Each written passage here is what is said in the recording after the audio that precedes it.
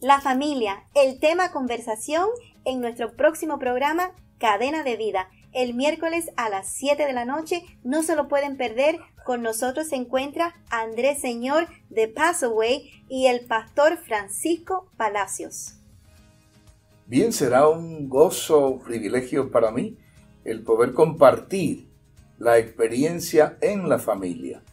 Tu familia también puede ser bendecida porque hay esperanza.